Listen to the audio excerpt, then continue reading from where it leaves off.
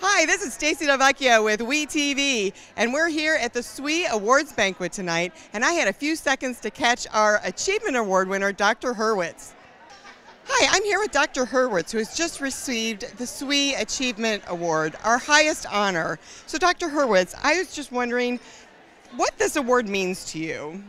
I'm very, very honored to have this recognition from the Society and from the selection committee and all of the women in this room and in SWE. I think that it's an amazing honor to have so many people present at this awards dinner.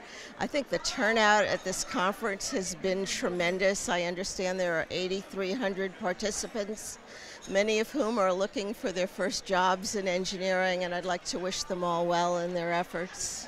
Well, it's an honor to have you here with us. And one follow up question so, you also received that very large bowl. Beautiful bowl. So, I want to know what you're going to do with the bowl. I'm going to have to find a place for it on my dining room table. All right. Thank you very much. Yeah.